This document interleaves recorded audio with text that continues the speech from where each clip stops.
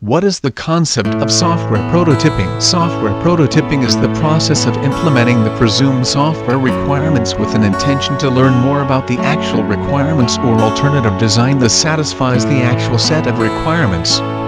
Prototyping is commonly a means for validating the software engineer's interpretation of the software requirements, as well as for eliciting new requirements.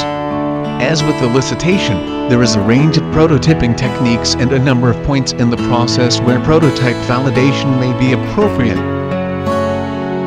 Process of prototyping Determine key requirements including the input and output information desired. Details, such as security, can typically be ignored.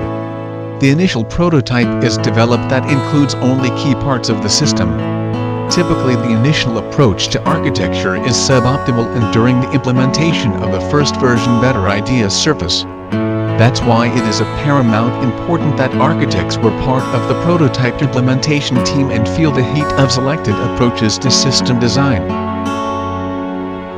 Prototyping of the software process Evolutionary prototyping is an initial prototype is produced and refined through a number of stages to the final system. Throwaway prototyping as a prototype is produced to help discover requirements problems and then discarded.